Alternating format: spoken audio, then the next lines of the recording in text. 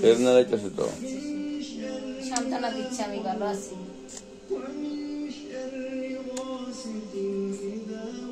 ওই সান্ত্বনা মায়ের মন মানে বাবা যতক্ষণ না পরিষ্কার